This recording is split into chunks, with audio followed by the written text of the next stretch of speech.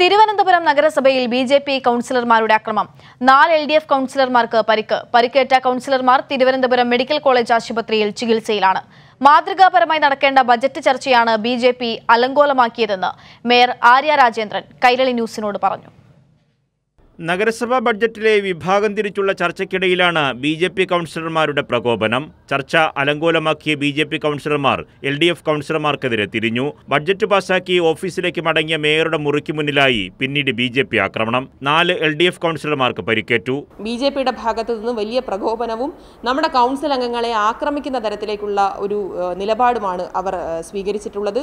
ഏറ്റവും പ്രധാനമായി ബഡ്ജറ്റ് എന്ന് പറയുന്നത് ഒരു തദ്ദേശ സ്വയംഭരണ സ്ഥാപനത്തിന്റെ കീഴിൽ വരുന്ന ജനങ്ങളുടെ ജീവിതം മെച്ചപ്പെടുത്തുന്നതിനു വേണ്ടി നാം തയ്യാറാക്കുന്ന നമ്മുടെ കാഴ്ചപ്പാടാണ്. ആ കാഴ്ചപ്പാടിനെതിരെ മുദ്രാവാക്യം വിളിക്കുകയും അതിനെതിരെ വലിയ പ്ര പ്രതിസന്ധി സൃഷ്ടിക്കുകയും വലിയ പ്രശ്നത്തിലേക്ക് അതിനെ കൊണ്ടുപോകുകയും അതിനു പുറമെ കൗൺസിൽ തന്നെ അക്രമകാരികളായി മാറിക്കൊണ്ട് വലിയ സംഭവങ്ങൾ കൗൺസിൽ അംഗങ്ങളെ ഉപദ്രവിക്കുന്ന തരത്തിലേക്ക് അവർക്കെതിരെ ആക്രമം അക്രമം അഴിച്ചുവിടുന്ന തരത്തിലേക്കാണ് ബി ഒരു നിലപാട് സ്വീകരിച്ചത്.